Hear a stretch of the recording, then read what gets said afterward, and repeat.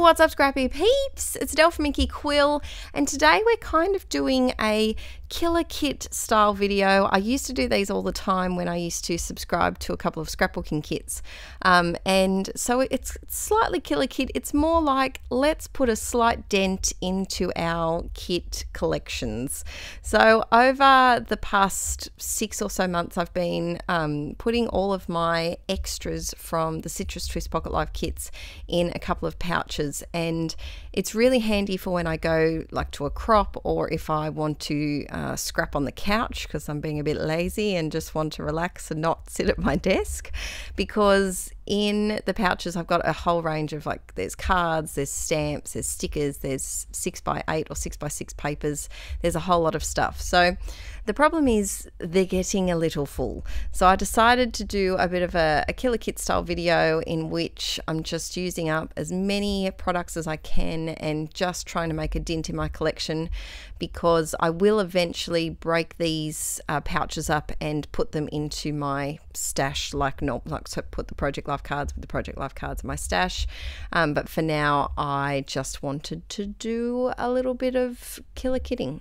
So here, this card was just perfect because um, it was I when I first saw this card in the Pocket Life kit, I did wonder how I was going to use it because um, it's got this lovely duck goose type bird and I just didn't know when I'd be able to use it. And this Project Life page is all about Archie's first time in uh, our spa, and we have a lovely hot tub outside.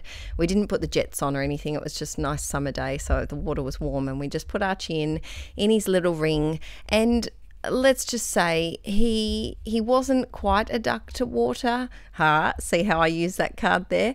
Um, but he he tolerated the water, which was quite nice, and he he tolerated it. He enjoyed splashing. He just had a frown on his face the entire time. He didn't cry, just extremely disconcerted about the whole situation. I think um, so. We we only spent a little bit in there, but I I love using I love finding things when you least expect them that are perfect for the photo that you have.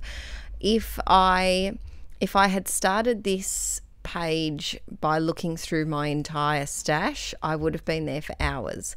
So if you are a subscriber to any kit club subscription service, I, I think it's a really fun idea to just for a few months after you've used the kit as much as you want for that month or a new one arrives and let's be honest when the new one arrives you're like ah this old thing let's put that to the side. Let's look at the shiny new things. Um, i think it's a fantastic idea to just put all of the goodies in one spot. So that way you can just pick it up and go and know you've got a good variation of things that you can choose from for this one, uh, I have been hoarding these puffy letters like there's no tomorrow.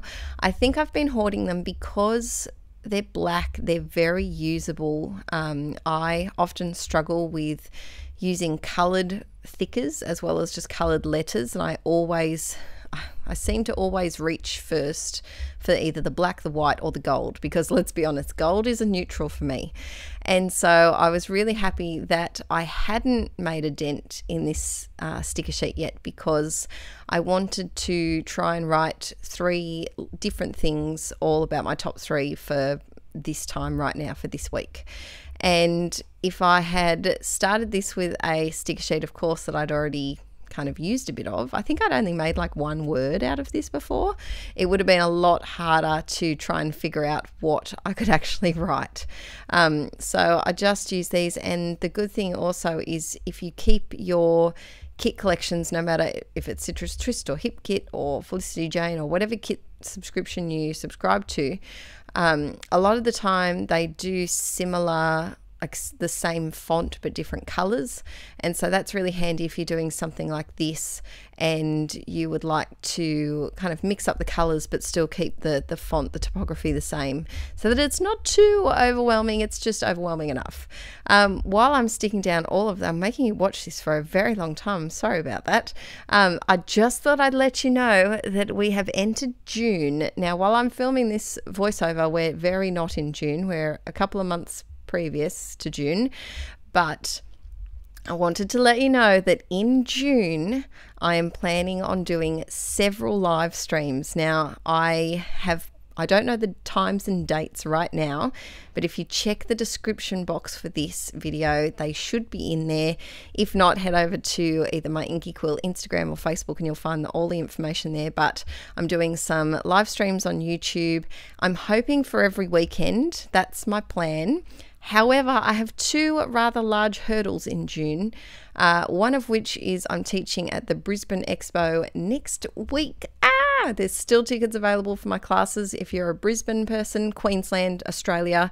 I did realize someone commented when I announced that I was teaching classes in Brisbane and they went, I'm so excited. And then I realized it wasn't Brisbane in the USA. I didn't know there was a Brisbane there, but Unfortunately, I'm not traveling there quite yet, um, but there's still tickets available. I'm pretty sure for my classes. Well, there is when I'm recording this, but there should still be spaces. I think I'm teaching five classes all up, so the info for those is in the description as well.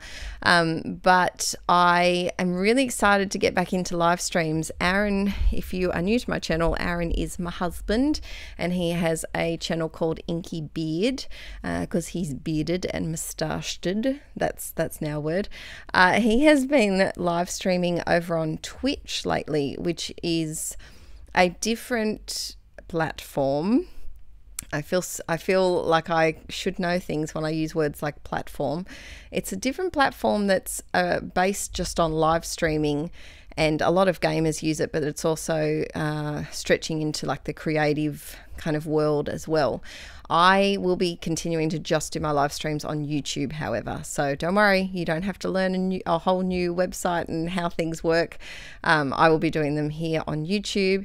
And make sure that you're part of my Scrapaholics Anonymous Facebook group. Links always in the description as well, uh, so that you know when they're happening and and all of that info back to the layout. Now, here I decided orange is a color that you know if you're a long time inklet I do struggle with orange and green a little bit. I'm warming up. I'm very much warming up to yellow. I'm enjoying yellow at the moment. Uh, I don't know if it's been up yet, but I do have a layout that's completely yellow. It's monochromatic yellow, and it's one of my favorite layouts that I've done recently. That might not be up yet. It might be up in July, I think, um, or August. Oh, who knows? I'm pre filming a lot of videos at the moment. It's fabulous. I like getting ahead with. Um, with editing and filming so that I'm not doing things last minute. Anywho, I digress. So I I'm not a huge person with orange and which is why when I do these little when I put all of my leftover kit goodies for the month they're quite often are colors that I'm not jumping towards and I think that it's a great way then because your leftover kit goodies are in one little pouch, they're not just in your huge stash. You're more likely to reach for a maybe a different color that you don't usually reach for, or maybe a like a, an icon or a shape or a, a duck goose looking thing that you wouldn't usually reach for because you're uh, supplies are limited. So I tend to try and just use what's in these little pouches when I do this type of thing. I just went away to a scrapbook retreat recently and I did a whole lot of kit killing. Um, I managed to do, I think it was 11 Project Life pages, and I think at least seven of them, seven or eight of them were doing this same kind of method. Um, I did a layout share of those over on Patreon. I'm pretty sure. Yes, I did. Yes, I did. It should be up by now. So I I'm enjoying adding a little bit of like handwriting here and just tiny little details to my photos. Now this one I had the perfect sticker for. Who ate your bowl of sunshine? this morning thundercloud because he did look like a bit of a thundercloud while he was giving us the evils and frowning. And I tried forever to see if this was adhesive before realizing it wasn't adhesive and then I just decided to rip off the backing because I had cut I had cut it smaller And by doing so, I had disrupted the puffiness uh, because I had cut the like the seams of the puffy sticker, and it just wasn't puffying anymore. So I just ripped those bits off. It's not puffy anymore, but it still has the same message on it, so that's okay. And I'm just sticking that down. But I'm really glad that I didn't move this sticker into my stash because it just would have got lost. And then when I had the perfect photo for that phrase, because that's you can't really use that sticker on every photo. You have to have a specific photo for that. Um, I would have forgotten about it. It would have got lost and then it'd just be supplies that I wasn't using. So here is the finished page. I hope you enjoyed it. Um, that bottom photo, the 4x6 one, I actually put on a flap and stuck it down because there wasn't a 4x6 uh, slot. But I hope you enjoyed it. Get ready for some live streams. There might even be one today or tomorrow because I'm hoping for the weekends. Who knows? I have to figure out the times and time zones so that I can stretch them out different times so that everyone can join in a live stream. All right, guys, thanks so much for watching. Don't forget to give this video a thumbs up if you liked it, and I'll see you next time. Bye.